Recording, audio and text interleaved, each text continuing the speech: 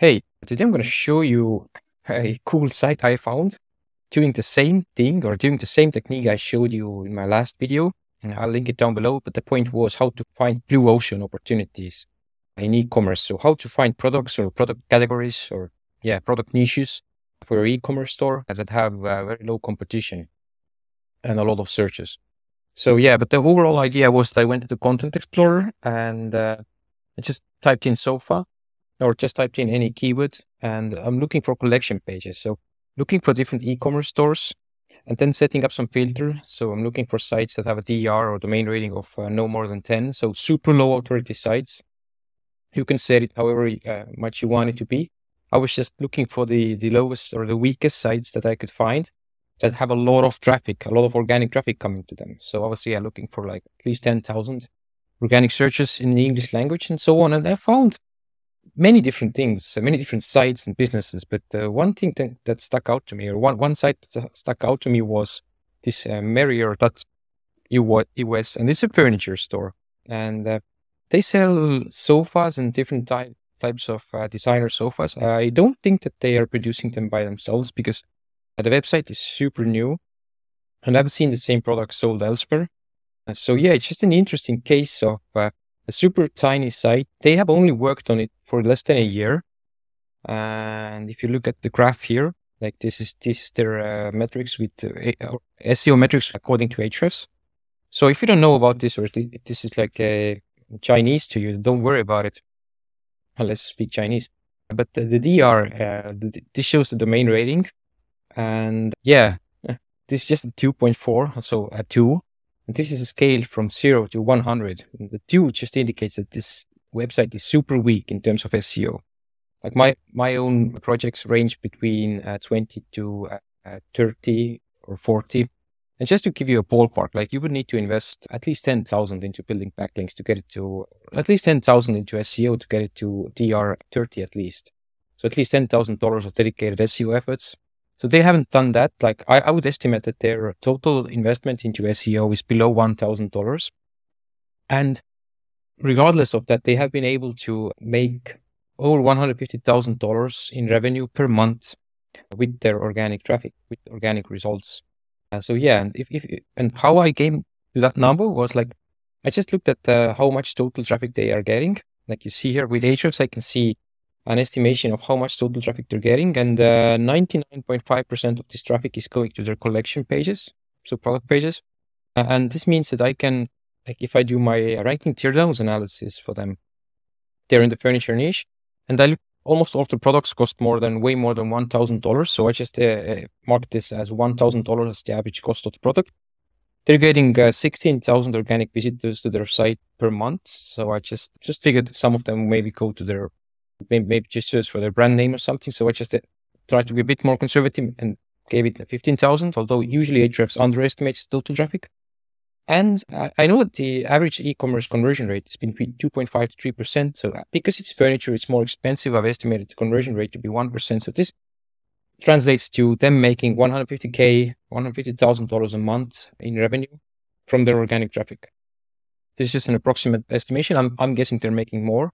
But yeah, and, and also like if, if you look at like if you've seen our other videos or my other videos on, on analyzing different niches, uh, this shows you the power of finding uh, the right niche or finding the right products to promote. Like even if you are in a competitive niche, you can still find some gaps in your niche for different types of products that like, let's say that you're selling protein powder. This has a lot of competition and it's a red ocean, means there are so many competitors. It's really hard for you to compete. And by hard, I mean expensive you could still find some, like if you do good SEO, good keyword research, you could find some subtopics. So let's say like best grass fed, vanilla flavored protein powder, for example. I would estimate it gets less researchers, but yeah, you could you could still find some gaps in your market where it would be make more sense for you to put more effort towards, rather than just trying to rank for protein powder, which is really expensive to do. So in their case, they have found a uh, furniture. Yeah, it's a broad niche, but furniture also has a lot of subcategories, and they have managed to find some subcategories that are easy to rank in. And if you look at like their factors, like these are just some like the five main uh, SEO factors. And I'm just scoring them on a score of one to five, with one being uh, super weak, so they're doing a poor job, or they haven't done much, if anything at all.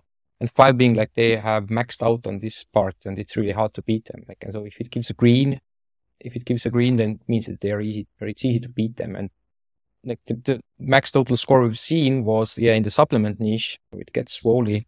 They scored a 20, but like if you look at this Merrier.us, like they have the, the weakest score I've, I've seen among the websites I've analyzed, while they're still making a lot of money.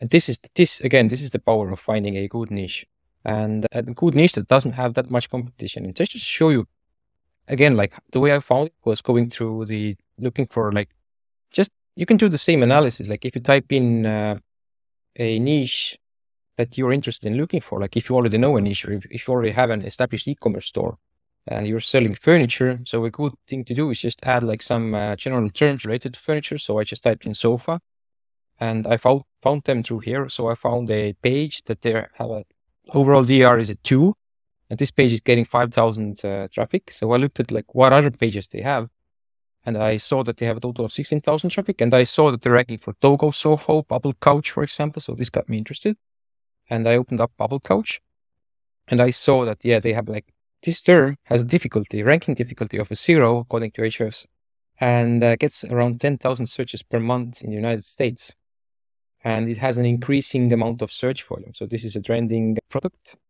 category. And uh, yeah, if you look here, they're ranking number one and getting 3,000 uh, searches or 3,000 people per month to their site on average.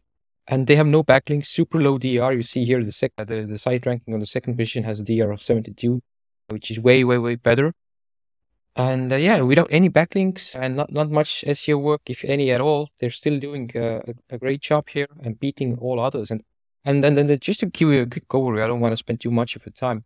How they're able to achieve that? that is it's just this niche is, just doesn't have that much competition because Merrier, the site we're analyzing, they have a specific dedicated category page for these types of bubble sofas. Why I'm talking about bubble sofas here is that this is the uh, the product page that is getting the most traffic for them. Uh, so yeah, they have like five different types of products they have a dedicated collection page, which is something I've talked about in the past. Like if you want to rank for a particular keyword, which is a category keyword, meaning that you could sell that people are searching for a like a, like a specific type of product, and you could have many products underneath that category, which is the case here. Then it, it it's best to have a category page, a dedicated category page. So yeah, instead of just trying to rank with one of the products, because the intent, if someone is searching for bubble sofas, they're looking for category pages. The intent is to find a category page, which then shows different products. And uh, this is what they have done. Uh, while the much stronger competitor here is ranking with a product. Just, yeah, you see here, they have the product in the URL. So they are ranking only with a product. Although they have backlinks, they have a high DR, but yeah, Merrier is still beating them. And, and also Merrier is, is ranking with a product page as well. Here, just on the fourth position. But yeah, this also shows that the category page has, has more power. And again, like showing that niche, another indication of this niche being or this product type being super low competition is that if you look at here, like there's a stronger site, Italian luxuryinteriors.com with a DR of 12 compared to two that Merrier has.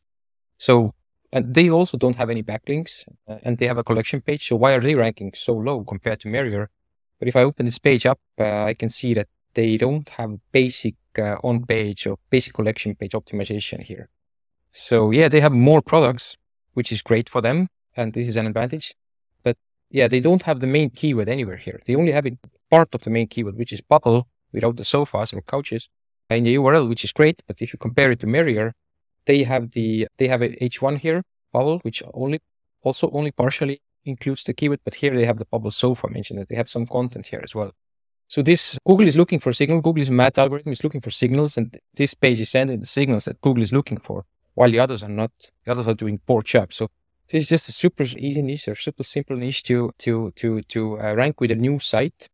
This is almost never the case.